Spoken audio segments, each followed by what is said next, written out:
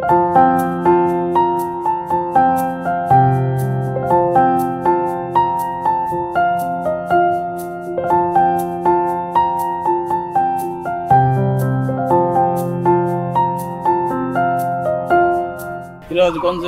ঐতিহ্যবাহী নবরত্ন মন্দির সতেরোশো চার থেকে সতেরোশো আঠাশ সালের মধ্যে মুর্শিদ কুলির খান খান সাহেবের আমলে এই মন্দিরটি স্থাপন করা হয়। রামনাথ ভাদুরীর নেতৃত্বে। তিনি একজন তহসিলদার ছিলেন।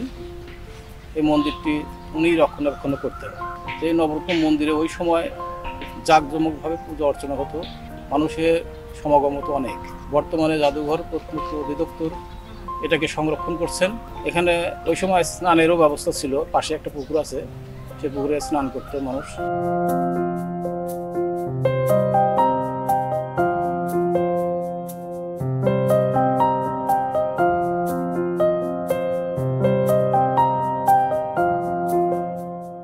কেনাকাটায় একশো পার্সেন্ট পর্যন্ত ক্যাশব্যাক জিতে নিন বিএমডব্লিউ সহ হাজার হাজার পুরস্কার। নয়টা গম্বুজ আছে, গম্বুজের অপর নাম থেকে রত্ন বলে।